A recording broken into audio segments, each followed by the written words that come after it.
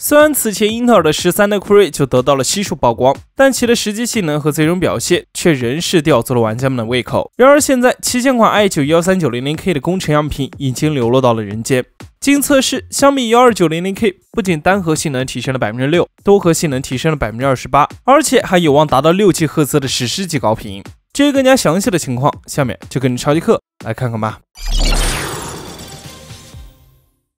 根据目前 CPU-Z 的展示图来看，和此前泄露的信息一样，i9 13900K 的核心代号为 Raptor Lake，将继续沿用英特尔七制程工艺，也就是十纳米，并会保留 X86 异构设计，由八个性能核加十六个能效核构成，最终规格为二十四核心，三十二线程，而其的高速缓存将会由三十兆提升至六十八兆，但最大 TDP 功耗仍为一百二十五瓦，PL2 短时功耗为二百二十八瓦。至于在性能方面，根据 WC SafeTech 的消息显示，目前测试的样品为两个不同的阶段，其中编号为 Q0D8 的 i9-13900K 为 ESE 第一阶段样品，性能表现并不成熟，最高仅能达到 4.0G 赫兹的主频，对比泄露的 5.8G 赫兹落后了百分之四十五。同时，在 CPU-Z 的实际跑分中，其的单核性能为六百一十一分，落后了 i9-12900K 百分之三十六。而多核性能则为一万三千零一十四分，领先了 i 九幺二九零零 K 百分之十一。至于编号为 Q 一 HM 的 i 九幺三九零零 K 则大不相同了。据悉，其为 ES 三第三阶段样品，单核睿频已达五点五 G 赫兹，全核睿频已达五点三 G 赫兹，算是基本持平了目前 i 九幺二九零零 KS 的水平。同时，在 CPU-Z 的实际跑分中，其的单核性能达到了八百八十分以上，领先了 i 九幺二九零零 K 百分之六；而多核性能则是在一万五千分以上，领先了 i 九幺二九零零 K 百分之二十八。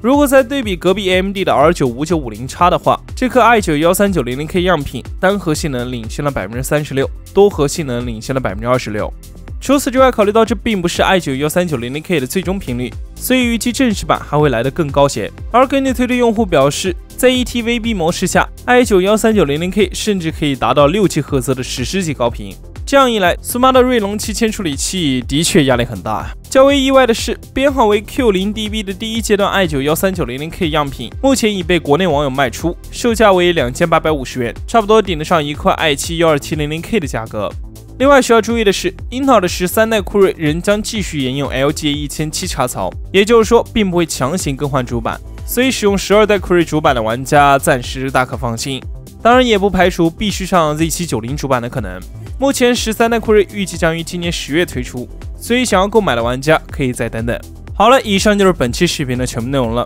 那如果还想了解更多硬件相关的消息和科普知识，记得关注超级课，我是一个强，我们下期再见。